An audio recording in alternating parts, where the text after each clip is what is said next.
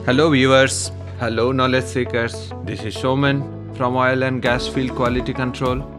In parallel with the pipeline processes and varieties quality topics, I am thinking start an interview question answer series. Some questions collected and some questions uh, from my experience. I will make several videos for different streams of our quality control like piping, instrumentation, mechanical, welding.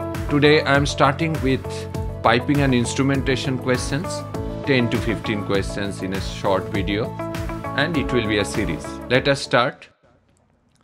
What are the instrument categories? General, flow, temperature, pressure, level, and density. There are more also, but this answer will be sufficient.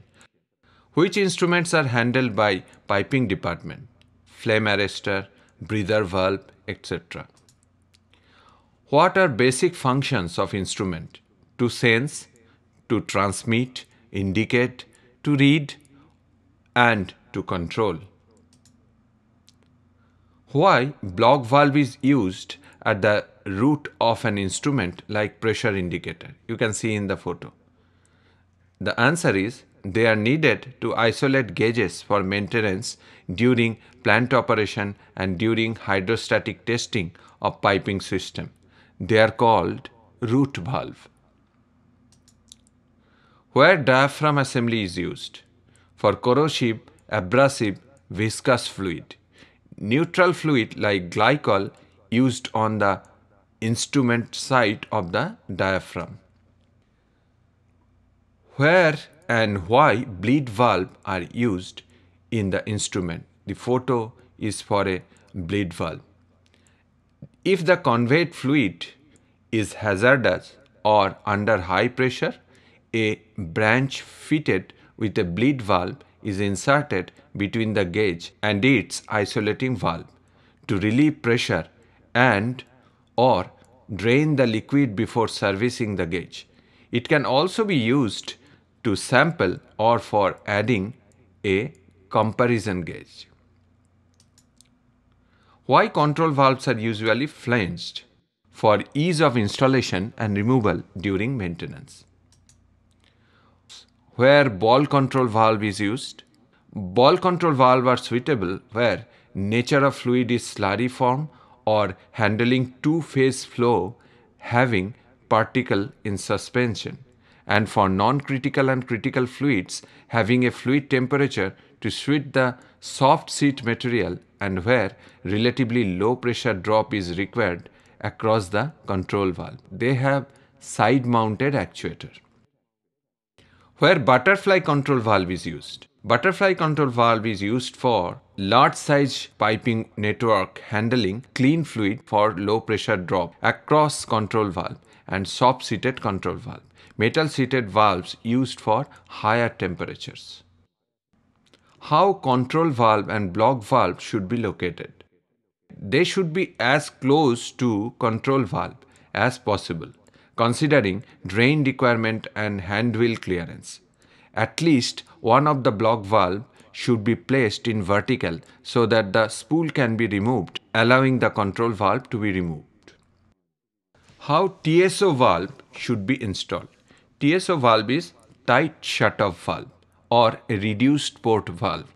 This is a control valve should be installed in vertical for gas service and horizontal for liquid service how bypass valve in control station should be located.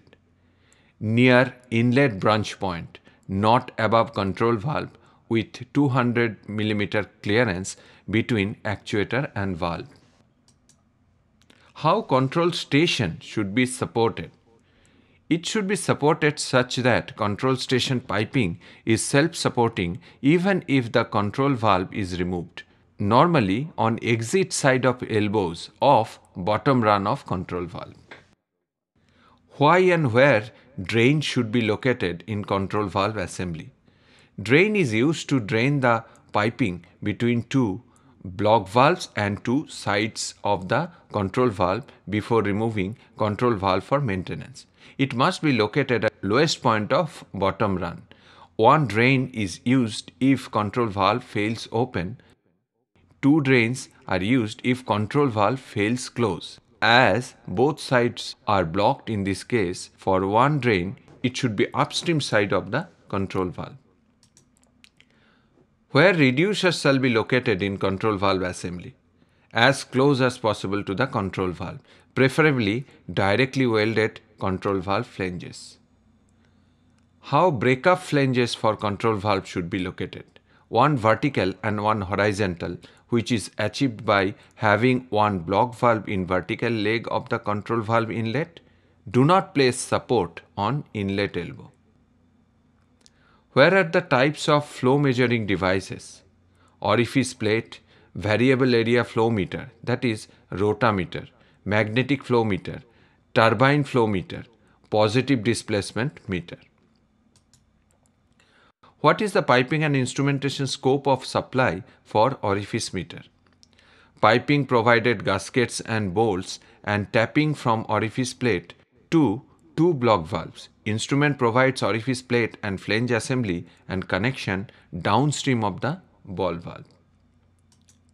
How orifice flange taps should be oriented. For liquid and steam, it should be oriented horizontal or 45 degree down from the horizontal on both sides. For gas and vapor lines, it should be vertical or 45 degree to vertical on both sides. Taps are 0.5 inch. What are straight run requirements of orifice plate? Inlet straight run requirement can be 15D to 20D and outlet straight run requirements 5D minimum. It depends on the piping configuration and D to D ratio that is ratio of inside diameter of orifice plate and inside diameter of the pipe. It should be confirmed with instrument engineer in instrument specification sheet that is ISS for the project. What are the straight run requirements for vortex meter? 5D upstream. Hey guys, end of the video. This is part 1 be with me, part 2 follows. Signing off, Showman.